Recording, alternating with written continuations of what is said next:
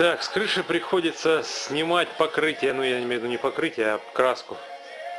Вот, до родного. До родного по той простой причине, что вот, вот эти рыбьи глаза, ну, вот они. Вот, их по всей крыше, ну, естественно, целая куча вот.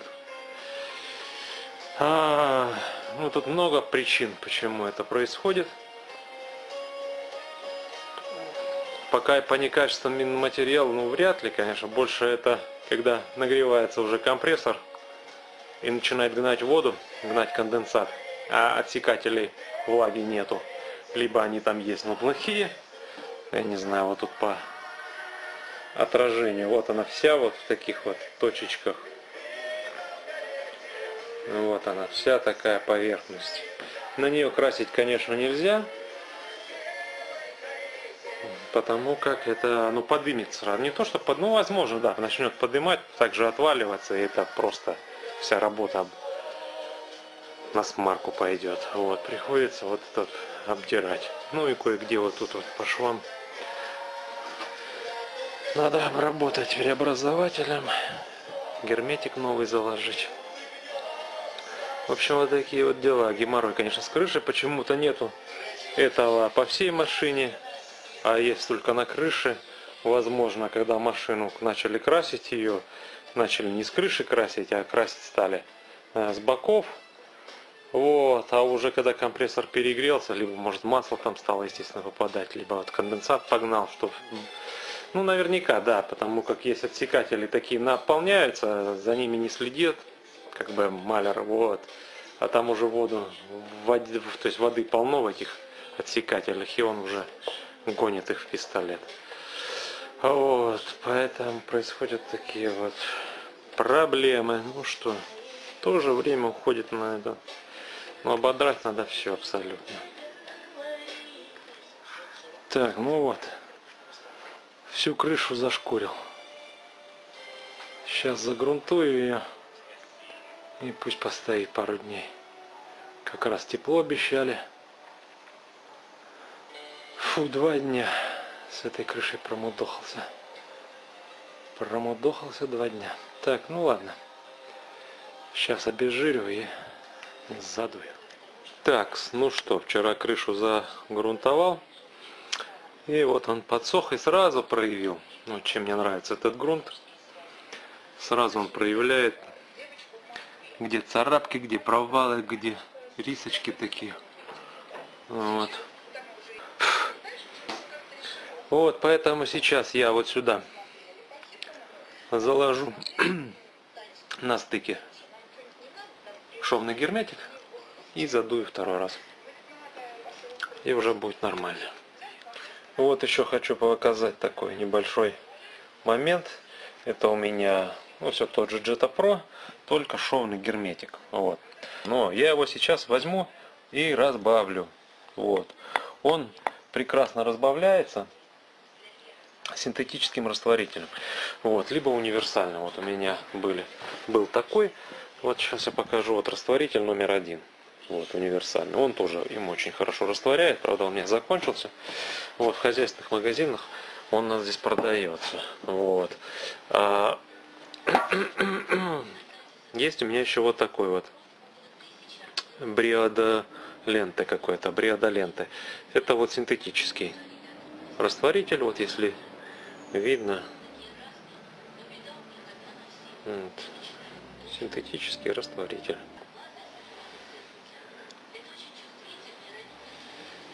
В баночку сейчас положу его. И растворю. Чтобы он был жиденький, я его спокойненько выдавлю на а, стыке металлов там на крыше. И он у меня затечет и также быстро высохнет. Вообще без проблем. И будет аккуратно, ровненько.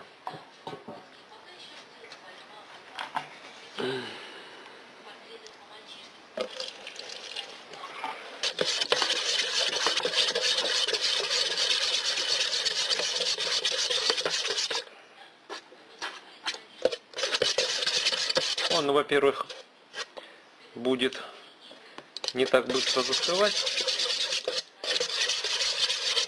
не мгновенно. Ой, а то сейчас тоже опять на фотоаппарат забрызгаю еще. Сейчас, ладно, на паузу нажму, вымешиваю и покажу как. Ну вот, вот он отлично вымешался, прям такой как сметанка, не тугой, и его очень удобно накладывать. Конечно, когда в тубе, в тубе если брать, то в тубе вообще нет проблем. Но дело в том, что в тубе очень мало объема. Вот, поэтому выгоднее брать такими банками, естественно, его надолго хватает. Вот, чтобы хорошо положить. Растворил его чуть-чуть и кисточкой раз. Вот.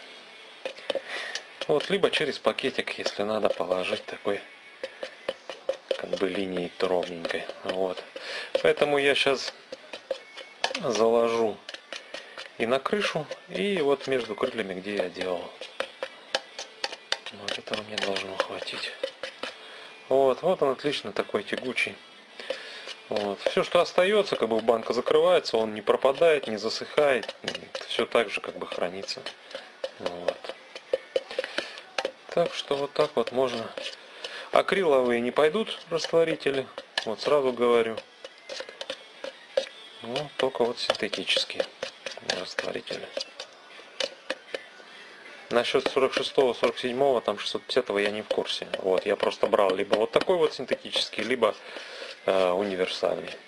Универсальный номер один. Ну все, сейчас будем закладывать. Ну а сегодня какой солнечный день у нас. Так, ну что, вот передул я вчера крышу. Вот опять же, другим цветом. Друг... Грунт тот же, только цвет другой. Где перекрывает, где нет. Вот. Так что все в порядке. Красить, наверное, буду завтра или послезавтра. Так, а что у нас? Шовный герметик. Шовный герметик застыл, наверное. Вот у меня на ноже, который я... Да.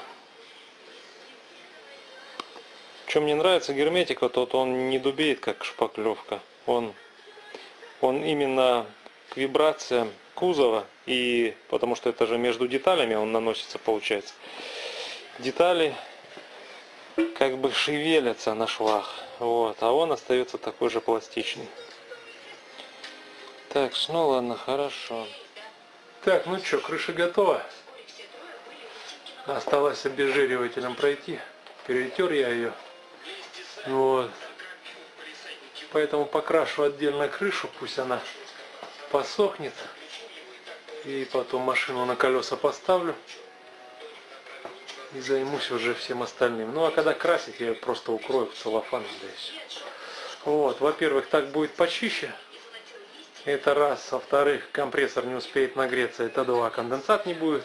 Хоть у меня фильтра стоят, но все равно, мало ли. Вот, поэтому по отдельности красить это удобнее. Во-первых, вытяжка у меня такая стандартная дверь, форточки. Вот, обычный у меня гараж без всяких там приблуд.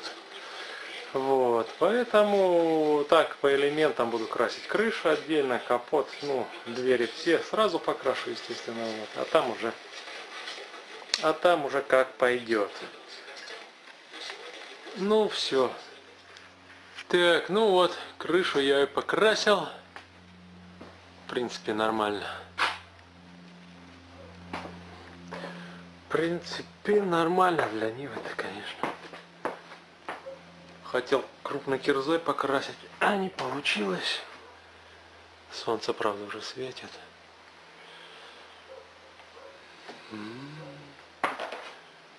Пол-литра базы ушло. Ну, не считая твердителя-растворителя. В общем, хорошенько я залил так ее еще чтоб там если полирнуть впоследствии потому когда она уже высохнет там может где-то там какие риски проявит ну, в принципе не должно два слоя грунта Поэтому должно быть нормально. Но все равно полировка она будет. Чтобы там где-то слой убрать, может два сполировать. И тогда будет как яичко. Ну ладно, все нормально. Нигде, самое главное, не убежала. Краска, нигде никаких потеков нету. Да и крышу, в принципе, сама просто